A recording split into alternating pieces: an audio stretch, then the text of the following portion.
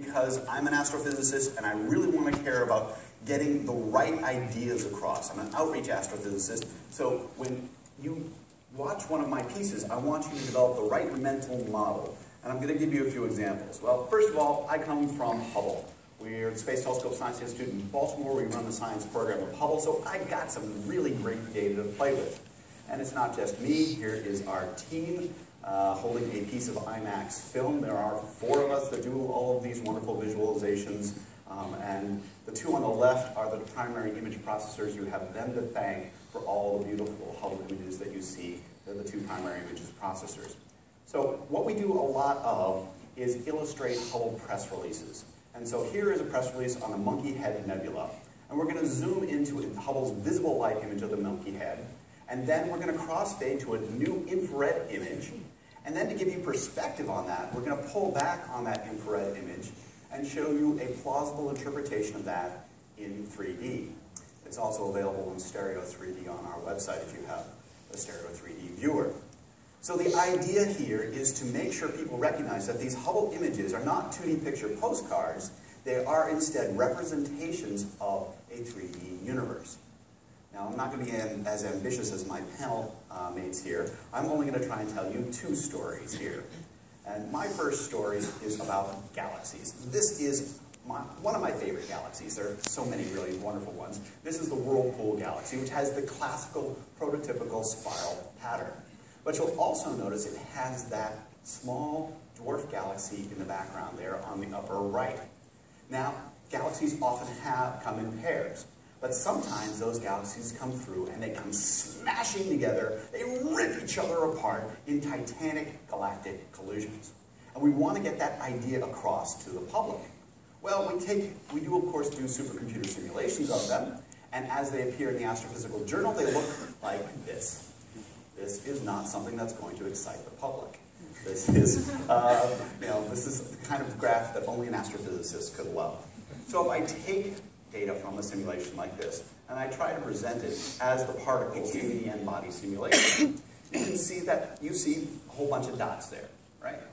But that's not what's really being computed in the simulation. As someone who did computer simulations myself, I've done these smooth particle hydrodynamic simulations, and each particle is not a dot, rather it is a cloud with a density function. So what I did is I went, I took this, and I designed a shader in RenderMan to accurately represent the density function of these three-dimensional clouds, and instead of having these dot-to-dot -dot plot, oh, I actually, here's, here's the shader itself. It's a, it's a variation on a Gaussian splat, and it has a, only a 2% difference from what the actual 2D projection of the smoothing kernel is in the SPH simulation. So you go from those dotted dots on the top to an, something that looks much more like a galaxy on the bottom. You can see the spiral arms. It's the exact same data, but it changes the way, because of the way I have rendered it. I have taken careful, been careful to put the science accurately into the visualization. Not only for the gas particles, but also um, more structure shows up in the star particles than I expected. Here we have those two galaxies coming together, and then they smash together and create these big tidal tails in the visualization. But let's take it a little bit further. Because for Hubble's 18th anniversary, we released a press release with 59 galaxy interactions. And these galaxies are in all stages of galaxy, uh, galaxy collisions. So I chose several of them. And in the upper left, you see two galaxies that are coming together. And the upper right, they're smashing through one another. And then the tidal tails develop, and then they merge back together.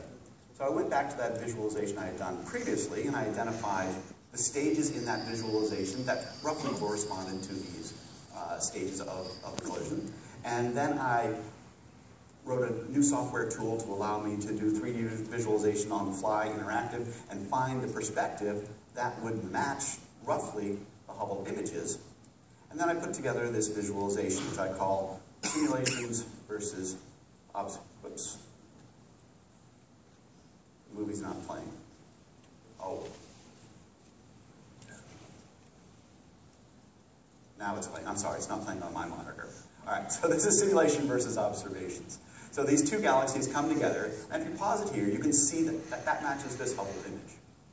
All right, same simulation, turn time back on. One galaxy comes buzzsawing straight through the other. but hold it right there.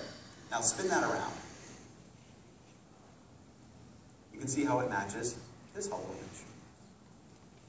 Again, turn time back on in the simulation. The tidal tails develop relatively quickly, at least on galactic time scales, as we can see in this Hubble image. And then the center of the galaxies are where the mass is concentrated. So the galaxies will come smashing back together. The cores will come together. And when viewed from a skew angle here, you get that sort of cursive Q shape as seen in this Hubble image.